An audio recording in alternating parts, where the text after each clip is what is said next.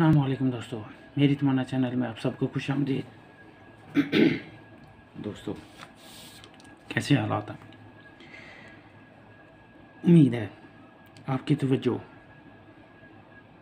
पिछले लेक्चर्स में कंटिन्यूटी के साथ मुस्तकिल मिजाजी चलती रही होगी और मज़ीद इलम की जस्तजू आपके दिल में मौजूद हो रही होंगी। तो दोस्तों, वक्त ज़ाय किए बगैर आगे बढ़ते हैं। क्वेश्चन नंबर सेवन मुख्तसर कलियात में। आज का टॉपिक टेम्परामेंट उम्र। उसमें बारे में बात होगी। उम्र और मजाज। इसके दर्जात क्या हैं और उसके हिसाब से मिजाज कैसे बनता है, इसमें बारे में आज डिस्कस होगी। तो सबसे पहले उम्र इसके दर्जात क्या हैं? इसके चार दर्जात हैं। नंबर वन सन नमो ठीक हो गया। ये वो स्टेज होती है जहाँ इंसान की नशन, वो नुमा और परवरिश होती है। तकरीबन इसकी लिमिट होती है तीस साल तक। इस उम्र में अज़ा परवरिश पाते रहते हैं, जहाँ तक कि अपनी पूरी जिसामत तीस उम्र तक कंप्लीट हो जाती है। दूसरे नंबर पे, सन वकूफ़।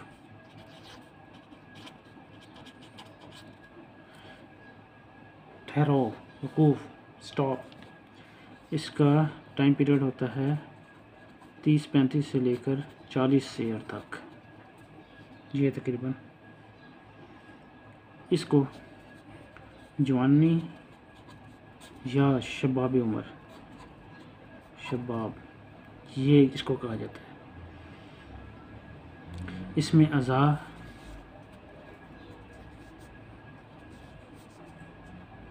ना। घटते हैं ना बढ़ते हैं। नो ठीक हो गया। अब नंबर तीन पे।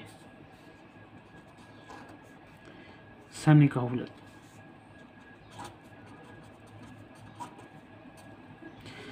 ये डेढ़ उम्र का ज़माना है। इसके बाद, चालीस के बाद से लेकर साठ साल की उम्र से। चालीस, पैंतालीस से लेकर सिक्सटी ईयर्स रिटायरमेंट की एज बर सगीर पाक हिंद या मे बी अदर कंट्रीज़ इस उम्र में क्या होता है? ताकतें। कम होना शुरू हो जाती हैं। और जो होते हैं कवा अफ़ाल, इन्हें तात पैदा हो जाता है। पैदा हो जाता है। मगर ज़्यादा नुमाया नहीं होता है।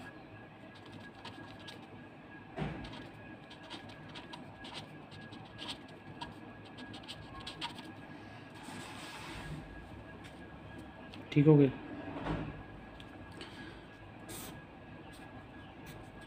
पूर्ण। सन शेखूखत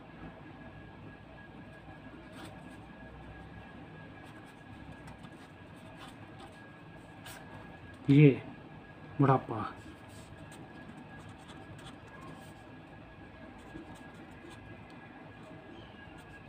ये बुढ़ापे का ज़माना होता है ये ताहयात, आखिरी उम्र तक। साठ से लेकर डेथ तक। ये पीरियड होता है। इस उम्र में नुकसान को वो तो कहीं तात नुमाया तौर पर महसूस होता है। खुद भी, दूसरों को भी। वो जिसको अल्लाह सेहत दे, वो आखिरी उम्र तक भी चाहे वो 125 साल की उम्र हो, चाहे 120 साल की हो, सेहतमंद रहते हैं। लेकिन, उनमें कोई वजह होती है शब कदर की दुआएँ होती हैं, सेहत तंदुरुस्ती, ज़िंदगी गुजारना, ये कुछ लिमिटेशन के तहत ही बंदा सेहतमंद रह सकता है।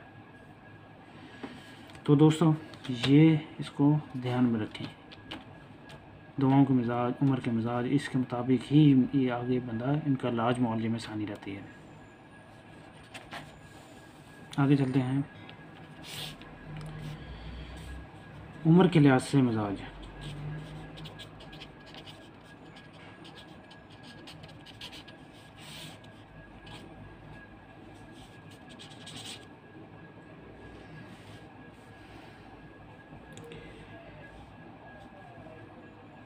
दोस्तों, जो जवान होते हैं, उम्र के लिहाज से ज़्यादा मतदिल होते हैं। मतदिल होते हैं, ठीक हो गया। बच्चे हरारत में जवानों के बराबर होते हैं मगर बच्चे जो से होते हैं, उनमें रतूबत ज़्यादा होती है। बच्चे में रतूबत ज़्यादा होती है। इसी वजह से बच्चों की जो हरारत होती है, नरम और हल्की होती है जबकि जवानों की हरारत फास्ट होती है तेज़ होती है। गर्म। डेढ़ उम्र और बूढ़े अशखास सर्द शख्स खुश, खुशक होते हैं, सर्द खुशक होते हैं। जो बूढ़े होते हैं डेढ़ वो होते हैं सर्द खुशक। मगर बूढ़े में एक आर्जी और ऊपर से तर रखने वाली रतूबत ज़्यादा पाई जाती होती है। यह रतूबत उस खुश्क, जो लकड़ी होती है ना, उसकी रतूबत जैसी होती है, जो पानी में डाल कर तर कर ली गई हो। लकड़ी लें, पानी में डाल दें, जो चिप चिप चिप करती है ना, वो इस तरह की होती है। मजाज के जो अज़ा के मतलब जो जाली नूस है ना, उसने एक ख़ास किस्म की तरतीब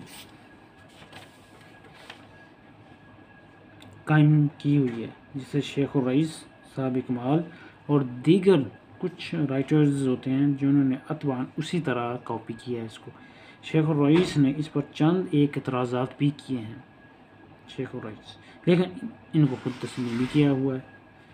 अच्छा तो हम्म, अब लामा कृषि साहब अपनी किताब मोजिल कानून। इसमें लामा कृषि साहब इसकी किताब है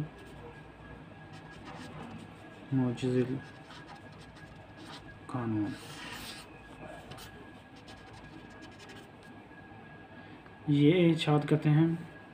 इनका कहना है, गश्त शहादत सबाबा तमाम अज़ाय बदन से ज़्यादा मतदिल है। और इसमें भी अगले पूरे की जल्द, इसके बाद दूसरी उंगली के पूरे की, इसके बाद तीसरी की, इसके बाद बाकी जो उंगलियाँ हैं, ये है। इसके बाद हथेली, जो ये घड़ा, राह राहे इसकी जिल्द जो स्किन होती है, इसके बाद कफ़ दस्त, हाथ, इसके बाद हाथ की जिल्द और फिर आम जिल्द ये मुख्तलिफ़ उससे कम कम कम। या पूरे असरा लेकिन बंदे का मिजाज मुख्तलिफ़ भी हो सकता है। एक जैसे फार्मूले एक जगह नहीं होते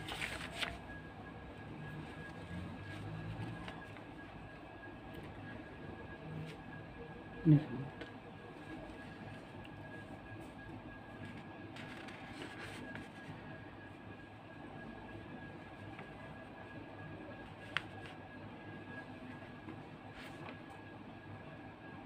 गर्म अज़ा।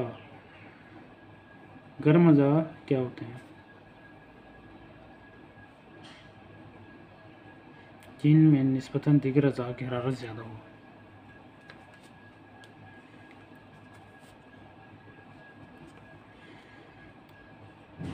इज़ाम हरारत की पैदाइश ज़्यादा होती है। इनमें खून ज़्यादा पहुँचता हो।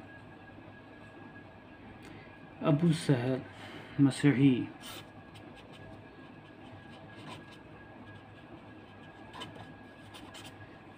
ये कहते हैं, उनका कहना है, जिन अज़ा में खून की मकदार ज़्यादा होगी, वो गर्म होगी, और जिन में कम होगी, सर्द मिजाज होगी। इस लिहाज से इंसान में सबसे ज़्यादा गर्म रूह और कल्ब हैं, इसके बाद जिगर और गोश्त हैं।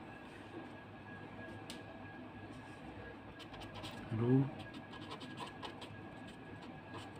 गरम जिगर, गोश्त, पहले नंबर पे, दूसरे नंबर पे।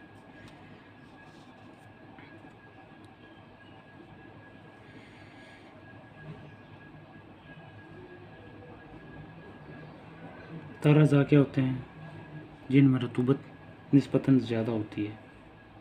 खुश गज़ा वो होते हैं जिनमें खुशकी ज़्यादा होती है। सर्द वो होते हैं जिनमें बरूदत नस्बता ज़्यादा होती है। अज़ा में सबसे ज़्यादा सर्द, हड्डी, करी, इसके बाद रबात, फिर असाब, इसके बाद हरा नब्ज़, नखाए, उसके बाद दिमाग शामिल हैं। तो दोस्तों, यहीं पर आज के टॉपिक को क्लोज़ करते हैं।